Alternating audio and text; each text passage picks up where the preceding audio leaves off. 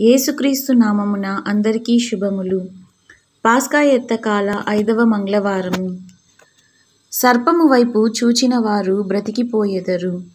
మొదటి పఠనము సంఖ్యాకాండము ఇరవై ఒకటవ అధ్యాయము నాలుగవ వచనం నుండి తొమ్మిదవ వచనం వరకు. ఆ దినములలో ఇజ్రాయేలీయులు హోరు పర్వతము నుండి కదలి ఎదోము మండలమును చుట్టిపోవలెనని రెల్లు సముద్రము త్రోవ వెంట పయనమైపోయిరి. కాని ఆ ప్రయాణమున ప్రజలు సహనము కోల్పోయి మోషే మీదను దేవుని మీదను తిరుగబడిరి. నీవు మమ్ము ఐగుప్తు నుండి తరలించుకొని రానేలా. ఈ ఎడారిలో చంపుటకే కదా. ఇచట అన్నపానీయములు ఏమియూ లభించుటలేదు ఈ పాడుకూడు తినలేక చచ్చిపోవుచున్నాము అని గొనుగుకొనసాగిరి అప్పుడు ప్రభువు విషసర్పములను పంపగా వాని కాటు వలన ప్రజలు చాలామంది మరణించిరి. అంతట వారు మోషే వద్దకు వచ్చి మేము నీకును దేవునికిని ఎదురు మాట్లాడి తప్పు చేసితిమి. నీవు ప్రభువునకు విన్నపము చేసి ఈ పాముల బెడద తొలగింపుము అని వేడుకొనిరి. మోషే ప్రభువునకు మనవి చేసెను. యావే మోషేతో లోహముతో సర్పమును చేసి గడె మీద తగిలింపుము. పాము కరచిన వారు ఆ కంచు సర్పము వైపు చూచినచో బ్రతికిపోవుదురు అని చెప్పెను.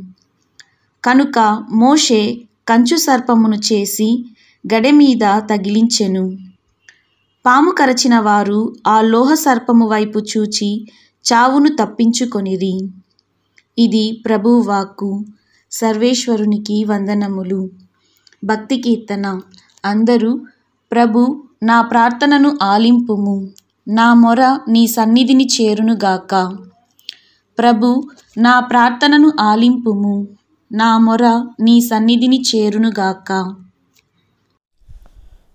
ఈనాటి సువిశేషము పునీత యోహాను గారు వ్రాసిన సువిశేషము ఎనిమిదవ అధ్యాయము ఇరవై ఒకటవ వచనము నుండి ముప్పైవ వచనము వరకు యేసు మరలా వారితో నేను ఇక వెళ్ళిపోవుచున్నాను. మీరు నన్ను వెదకుదురు కాని మీరు మీ పాపములోనే మరణింతురు. నేను వెళ్ళు స్థలమునకు మీరు రాలేరు అనెను. అప్పుడు యూదులు ఇతడు నేను వెళ్ళు స్థలమునకు మీరు రాలేరు అని చెప్పుచున్నాడు. ఆత్మహత్య చేసుకొనునా అని చెప్పుకొనిరి. యేసు వారితో మీరు క్రింద నుండి వచ్చువారు. నేను పైనుండి వచ్చువాడను. మీరు ఈ లోకమునకు చెందినవారు. నేను ఈ లోకమునకు చెందినవాడను కాను. కనుక మీరు మీ పాపములోనే మరణింతురు అని చెప్పి తిని నేనే ఆయనను అని విశ్వసింపని ఎడల మీరు మీ పాపములోనే మరణింతురు అని చెప్పెను. అటులైన నీవు ఎవడవు అని వారు ప్రశ్నించిరి.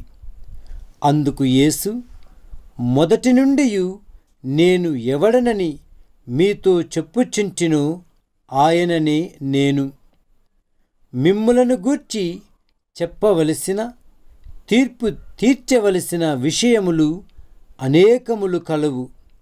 కాని నన్ను పంపినవాడు సత్యస్వరూపుడు. నేను ఆయన యొద్ద నుండి వినిన వానినే లోకమునకు బోధించుచున్నాను అనెను. ఆయన ఈ మాటలు తండ్రిని గురించి చెప్పెనని వారు గ్రహింపలేదు.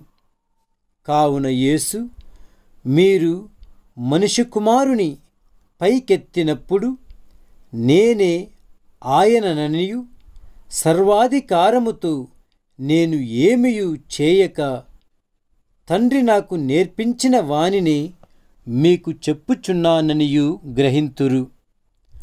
నన్ను పంపినవాడు నాతో ఉన్నాడు. నేను ఎప్పుడును ఆయనకు ప్రీతికరమగు పనులనే చేయుచున్నాను.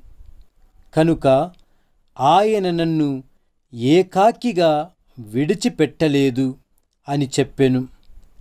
ఆయన ఈ విషయములను గూర్చి మాటలాడుచుండగా అనేకులు ఆయనను విశ్వసించిరి. ఇది క్రీస్తు సువిశేషము. క్రీస్తువ మీకు స్థుతి కలుగునుగాక.